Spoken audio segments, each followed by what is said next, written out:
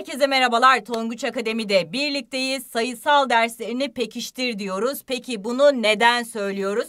Sizden gelen yorumları dikkate alarak söylüyoruz tabii ki gençler. Hemen birkaç tane yoruma bakıyorum. Gamer Broad demiş ki ben meslek lisesine gittim ama senin sayende hem takdir hem de onur belgesi aldım. Teşekkür ederim. Sayısal derslerini de pekiştireceğim. Bunun için öneri anlatır mısınız? Aynur demiş ki ben 5. sınıftan beridir bu kanalda ders alıyorum. Çok seviyor ve çok iyi anlıyorum. Çok teşekkürler. Ara tatil içinse kaynak önerilerinizi bekliyoruz demiş. Pınarlı Pınar'da Tonguç ben konuları anlıyorum ama sorularda pek yapamıyorum. Özellikle sayısal derslerde hocanın deftere yaptırdıklarını kolay yapıyorum ama başka kaynak öneriniz var mıdır? Bizler de sizler için sayısal seti hazırladık. Gençler sayısal setin içerisinde matematik, fizik, kimya ve biyoloji var. 9.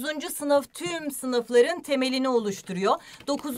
sınıfta eksiklerimiz kalırsa bir sonraki sınıflarda da tabii ki zorlanabiliyoruz gençler. Hemen göstereyim. Sayısal setin içerisinde biyoloji var, matematik var. Aynı zamanda kimya ve fizikte yer alıyor. Tüm üniteleri küçük parçalara bölünmüş şekilde sayısal set setin içerisinde bulabilirsiniz gençler. Mesela biyolojiden örnek olarak bir şeyler göstermiş olayım size. İlk ünite yaşam bilimi biyolojiydi. Yaşam bilimi biyolojinin içerisinde de organik ve inorganik bileşikler anlatıldı. Pek de sevilmezler aslında. Mesela karbonhidratlar, yağlar, proteinler ayrı ayrı bölümlerin içerisinde yer alıyor.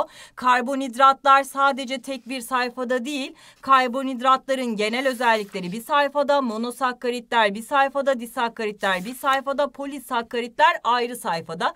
Yani küçük parçalar üzerinden tabii ki konuyu en iyi şekilde anlamış olacaksınız. İlk soru çözümlü oluyor biliyorsunuz ki çözümlü soru tüm konuyu anlayabileceğiniz bilgileri kapsıyor. Arkasından da dört tane test sorusu geliyor. Sen polisakkaritler sayfasında sıkıntı yaşarsan he benim burada sorunum varmış deyip oradaki eksikliğini tamamlamış olacaksın.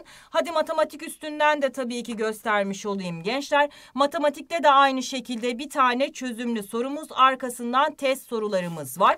Küçük küçük parçalar da tarama testleriyle tamamlanıyor. Yani bir bölümü bitirdiğiniz zaman arkasından tarama testleri karşınıza çıkıyor. Arkasından ünite testleri, arkasından ÖSYM tarzı sorularda yine karşınızda oluyor. 9 dinamo kitaplarımızın içerisinde yazılı hazırlık sayfalarımız da bulunuyor.